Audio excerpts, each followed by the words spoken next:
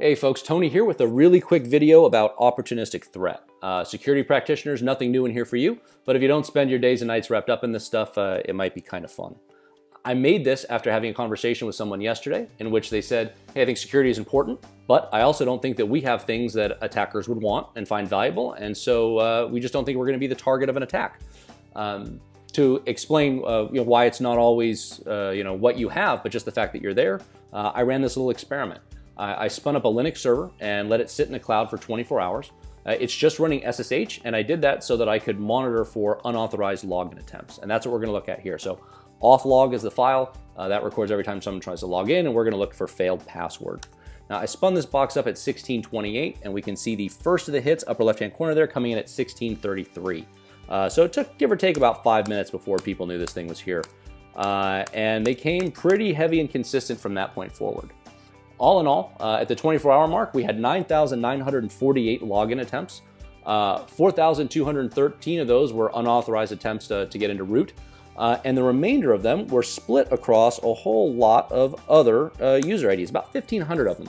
Uh, and you can see them here. So anything from people's first names to uh, you know, common administrator creds or default credentials for, for different pieces of equipment. What's happening here is uh, it's called a brute force attack. So basically someone has spun up a bot, it's sitting out there on the internet, it's waiting uh, and watching IP space, and when a new box comes live, uh, it tries to get into it. Uh, because I had SSH available, it started brute forcing. It started trying as many username and password combinations as it possibly could, hoping that I either had a, a weak password or that I was still using the default credentials from a, a manufacturer or something like that. Um, the reason why someone would do this is, is simple. It just builds out their empire of servers, right? Uh, if they're lucky, there's something very valuable on that server itself. But even if they just get access to a box, it's one more box to use and go off and attack more boxes.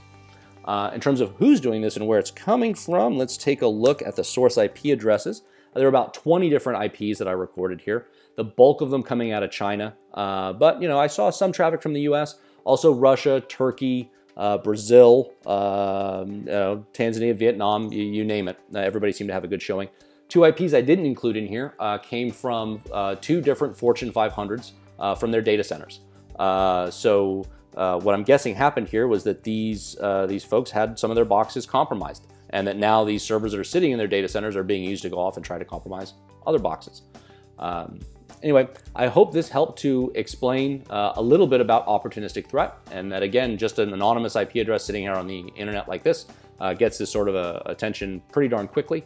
Uh, and you could expect to see the same whether you're spinning it up in a major company's data center or it's just your own home Wi-Fi router. Uh, this sort of stuff is, is sort of omnipresent.